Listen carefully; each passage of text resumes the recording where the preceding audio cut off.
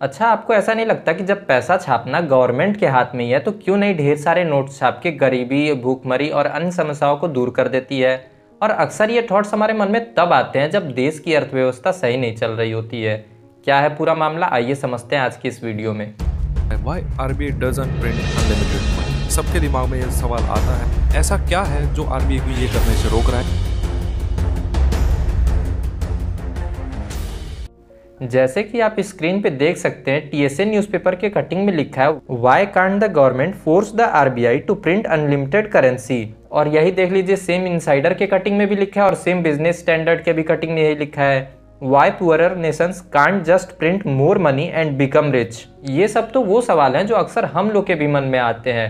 चलिए अब समझते हैं कि आरबीआई ऐसा क्यों नहीं कर सकती। ठीक है? बिल्कुल आसान भाषा में समझाएँगे। मान लीजिए कि प्राइम मिनिस्टर जो है वो आरबीआई के गवर्नर को बोलते हैं कि ढेर सारे नोट को प्रिंट करो और मार्केट में सर्कुलेट कर दो। अब आरबीआई के गवर्नर बोलते हैं, नहीं, ऐसा हम नहीं कर सकते, ऐसा करेंगे तो इन्फ्लेशन यानी कि मंदी आ जाएगी। तो प्राइम मिनिस्टर बोलते अरे नहीं यार, तुम समझे नहीं। देखो, हम बताते हैं तुमको क्या होता है। अगर हम अनलिमिटेड नोट्स को प्रिंट करके मार्केट में सप्लाई कर दे तो डिमांड अपने आप बढ़ जाएगी। अच्छा यहाँ एक वर्ड यूज़ हुआ है डिमांड इसको समझते हैं पहले। डिमांड जो है वो तीन फैक्टर पे डिपेंड करता है। पहला रिक्वायरमेंट नीड वांट आपकी ज़रूरत या इच्छा क्या है? ये रहेगी, तभी तो उस पर डिपेंड करेगी। दूसरा अमाउंट अवेलेबिलिटी देखो, अगर आपके पास पैसा ही नहीं रहेगा तो डिमांड कैसे ही काम करेगा? चाहे वो आपकी इच्छा हो या ना हो, पैसा होना तो ज़रूरी है। और तीसरा है विलिंगनेस टू स्पेंड अब मान लो भाई कि आपके पास पैसे भी हैं, ठीक है? अब मान लो कि आपके पास पैसे भी हैं, लेकिन आप चाहते ही नहीं खर्च करना तो भी कहाँ से डिपेंड करेगा? इसीलिए इन तीनों फैक्टर पे डिमांड काम करता है। और इसमें सबसे इंपॉर्टेंट फैक्टर जो है वो सेकंड फैक्टर है अमाउंट अवेबिलिटी मतलब ये कि अगर मनी सप्लाई बढ़ेगी तो डिमांड अपने आप बढ़ जाएगा। ठीक है, समझे? चलो एक इसको एग्ज़ाम्पल से समझते हैं, ठीक है? मान लो कि प्राइम मिनिस्टर एक योजना लॉन्च करते हैं, प्रधानमंत्री सूटकेस योजना। और उस सूटकेस में प्रधानमंत्री दस दस लाख रुपए भर के सबको देंगे, ठीक है? अब मनी सप्लाई बढ़ेगी तो डिमांड बढ़ जाएगी। और डिमांड बढ़ेगी तो भाई प्रोडक्शन भी बढ़ जाएगा। देखो भाई, अब प्रोडक्शन बढ़ा तो एम्प्लॉयमेंट भी आएगा।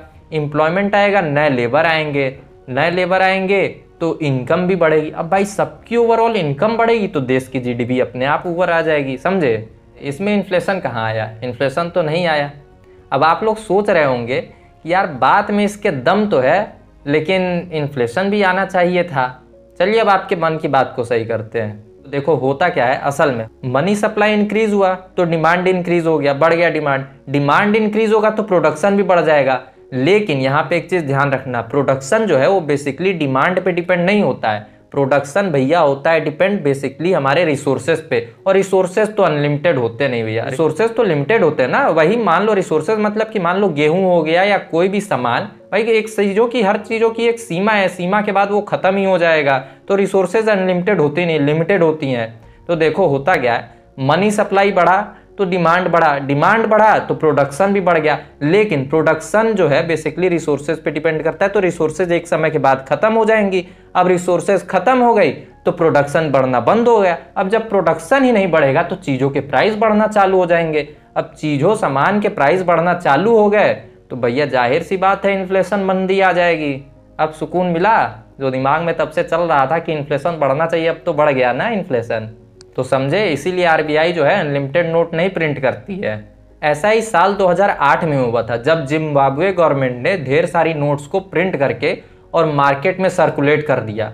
अंजाम ये हुआ कि एक साल के अंदर 23 करोड़ परसेंट से इन्फ्लेशन बढ़ गया था, जिसके चलते आप अंदाज़ा नहीं लगा सकते जो हम मिठाई का बॉक्स एक डॉलर में मिलता था, अब वो 23 मिलियन जिम्बाब्वे डॉलर में मिलता है। सेम यही हाल वेनेजुएला का हो रखा है। 2016 के बाद देख ही रहे हैं आप, क्या उनकी हाल वहाँ के भी प्रेसिडेंट ढेर सारी नोट प्रिंट करके मार्केट में सर्कुलेट कर दिए। और देखिए वहाँ आज हाइपर इन्फ्लेशन आ रखा है।